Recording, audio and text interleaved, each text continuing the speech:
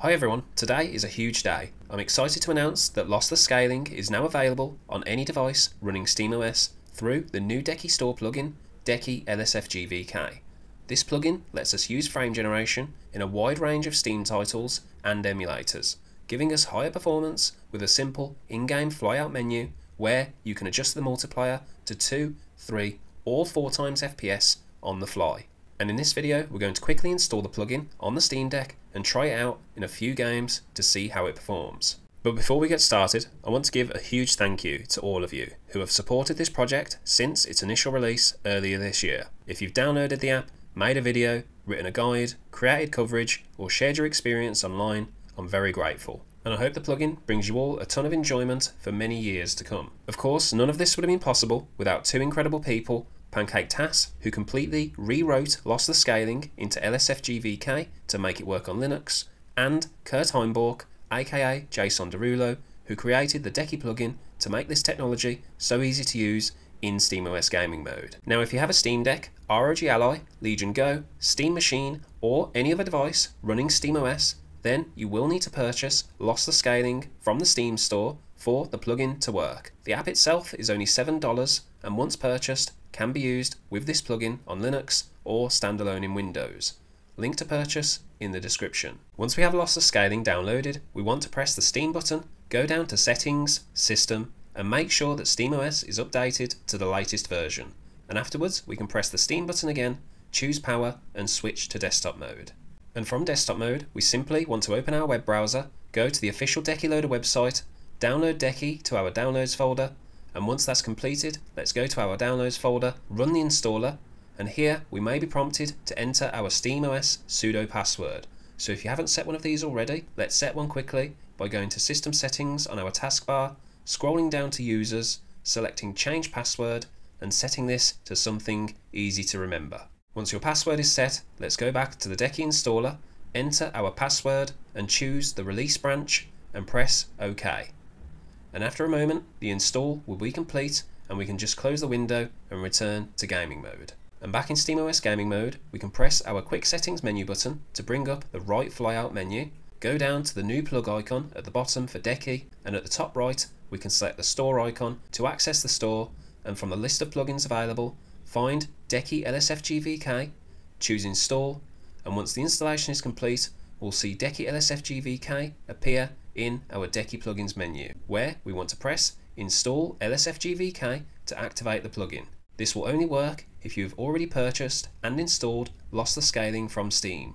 So once the plugin is activated, we want to quickly restart our Steam Deck and return to the plugin. Once we're back, we'll see a wealth of options available to us, and I'll go over just a few that I use here today. At the very top, we have our FPS multiplier, which we can adjust anywhere from 2, 3 or 4 times FPS. I like to keep this at 2 times for the most part, but if you want to go higher, try it out, but you'll likely experience higher input latency compared to 2 times, depending on your game's base frame rate.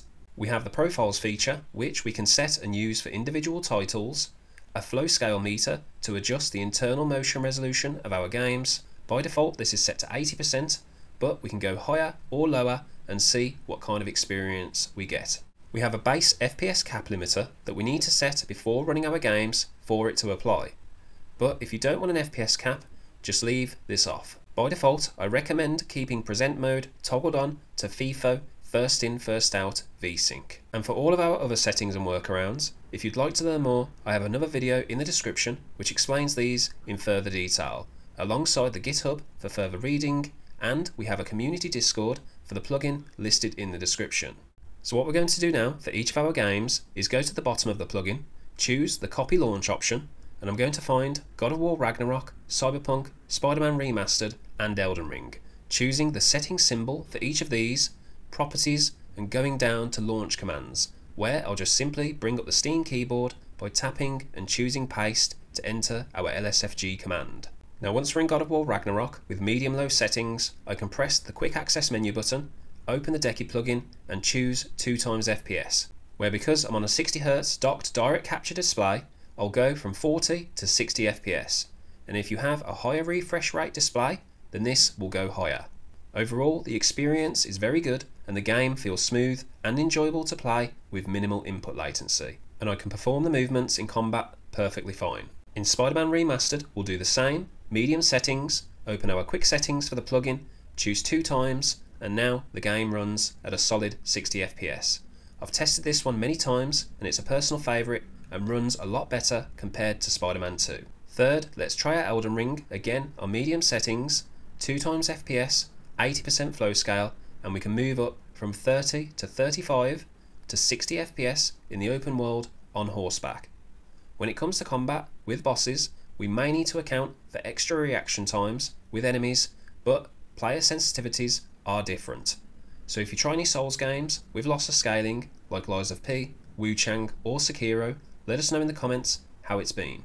And lastly, with Cyberpunk, I'm getting around 40 to 45 FPS in this area, and when I choose two times, we'll see docked I go to a solid 60 FPS.